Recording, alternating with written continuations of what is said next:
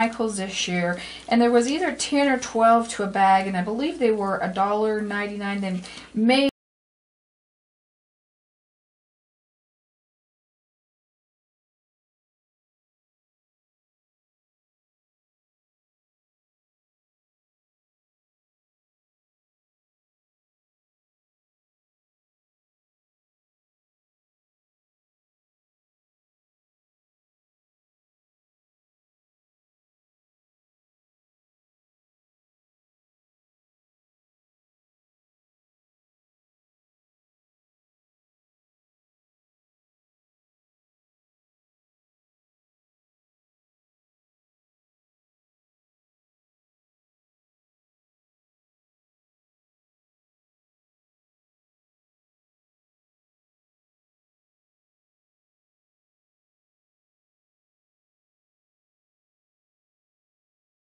little ones, or if you need some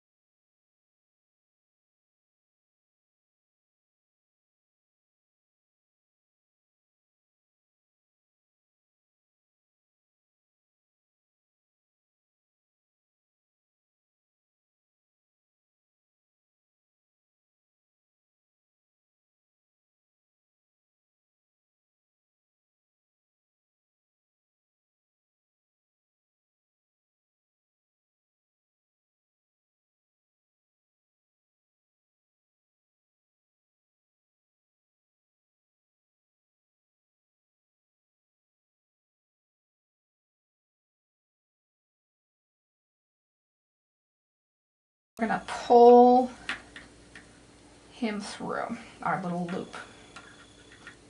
And that's how we're going to attach him to our hands, if I can get a hold of those. And then kind of make that knot nice and tight. And I found it's easier if you pull one string at a time. And my neon beads, you kind of want them to have a smaller middle. These are a little bit large, and so try and get the ones that have just a little bit smaller. These are kind of neon, and I'd rather have the other kind, but use what you have. I always tell craft people we always have so much laying around, so instead of going and picking something new up, let's use what we have. So I'm going to tie a knot on each side, try and get them matching.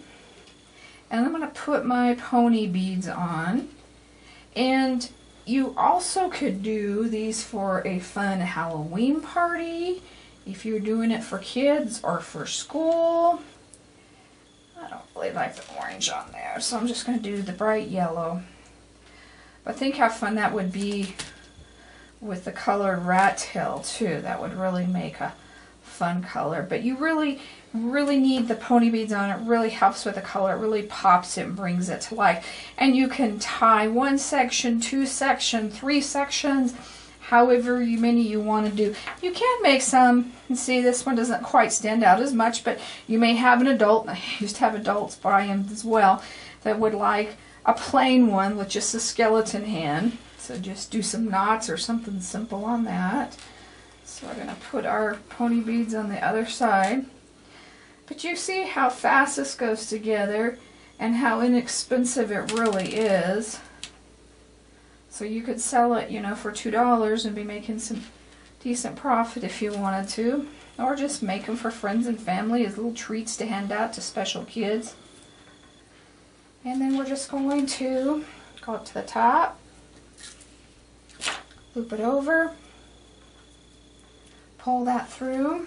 Just make sure you have it long enough that it can fit over the guy's head. Cut that off even. What I did also is I took a spider ring and on one of these that's tighter, just kind of wedged it in there a little bit so it kind of stayed. And then they had a spider ring too, and they could take it off if they wanted to. It's not a big deal. It's not something that has to stay on there, but it kind of just helps give it a little bit more life here as well. So there's all kinds of fun things that you could do with that just to have a fun Halloween piece and little kids that liked something to play with. And this one I turned it around backwards. Maybe that would make the spider stay a little bit better. This one isn't staying as well as that one. Maybe that's the difference between the two. So there's all kinds of fun things you can do with that. So that's just a quick little video. I hope you enjoyed that. Check out more of my fun little Halloween necklaces and these little hands. I'm going to be using these in a lot of craft projects for Halloween this year. So check them out, see what we're up to. Uh, jump over to my face or uh, excuse me, my website at miriamjoy.com and you'll see the YouTube link and come on over and enjoy some more fun. Thank you and God bless.